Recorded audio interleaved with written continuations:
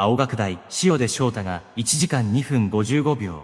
箱根駅伝9区当日変更から力走ハイテクハーフ第23回ハイテクハーフマラソンが1月8日新荒川大橋や球場発着のコースで行われ、陸連登録者の部ハーフ男子は前回3位のダニエル・ムイバキトニー、トラック東京が1時間2分48秒で優勝した日本人トップの2位には青学大1年の塩出翔太が1時間2分55秒で入った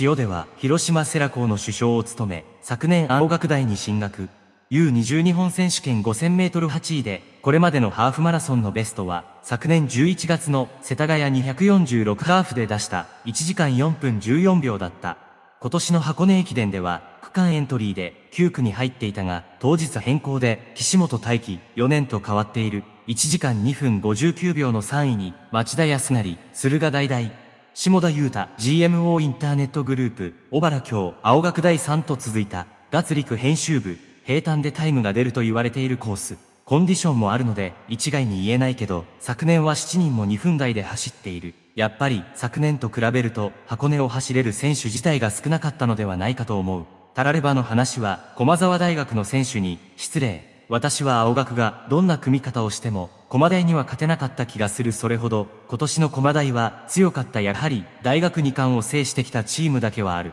青学の監督も、物言うが、引退する駒大の監督に失礼だ。悔しいなら、来年勝てばよい。日本の一流選手から、たらればを聞いたことがない。円谷幸吉も、君原健二も、宇佐美瀬古総兄弟中山。それに、沢木圭介。いつも強い者が勝つ。ザトペックアベベクレートンチェルピンスキー。タラレバなら、モスクワをボイコットしなかったら、セコはマラソン優勝していた、私の心のタラレバです。塩出選手は、セラ高校1年生で、5000メートルで13分57秒で走った、走力のある選手です。明治に進学し、箱根を区間4位で走った森下高校駅伝1区28分49秒と、タイ記録にあと1秒及ばなかったと、セラの双璧でした。大学1年から箱根走らせてみたかったですね。監督の人選ミスが明らかになりましたね。原監督は話題をずらして責任逃れせずに、真摯に反省して指導に専任するのが選手のためだと思います。他の大学より力のある選手を集めているのだから責任は重いはず。